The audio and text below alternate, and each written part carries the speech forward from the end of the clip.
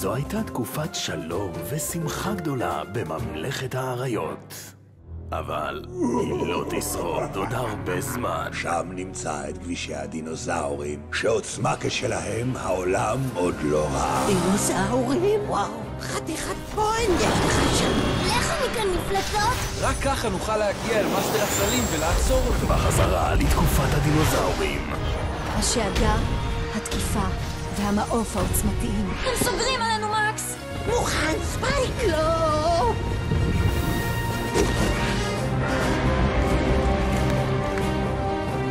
עוצמת האריות! אנחנו על הכוונת, מקס! מסע חזרה בזמן חדש. בקולם של דקלה הדר, אני רוצה שכל אריה יחיה בסבל. יורם יוספסברג, עכשיו תרגיש את עוצמת כבישי הדינוזאורים. תומר גלר, הנה אני כאן! עוצמת האריות! הרפתקאות מקס והדינוזאורים, בשבועות בקולנוע.